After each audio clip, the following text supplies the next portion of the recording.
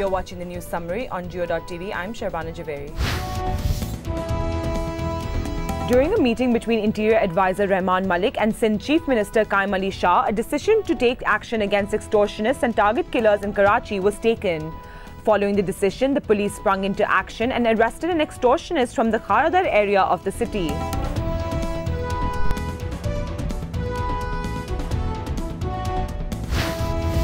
The zonal committees of the Ruat Hilal Committee will meet in their respective areas today after Asr prayers for the sighting of the Ramzan moon.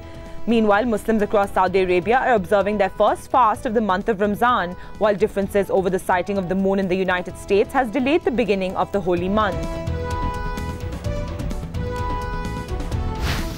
The Supreme Court has formed a five-member bench headed by Chief Justice Iftikhar Muhammad Chaudhry for the hearing of the petitions filed against a new contempt of court law. Earlier, the Supreme Court issued notices to the Federation of Pakistan, Attorney General and Secretary Law, and the hearing has been scheduled for 23rd July. At least 14 people were killed while 50 others were wounded when a gunman opened fire at the premiere of the new Batman movie in the US state of Colorado.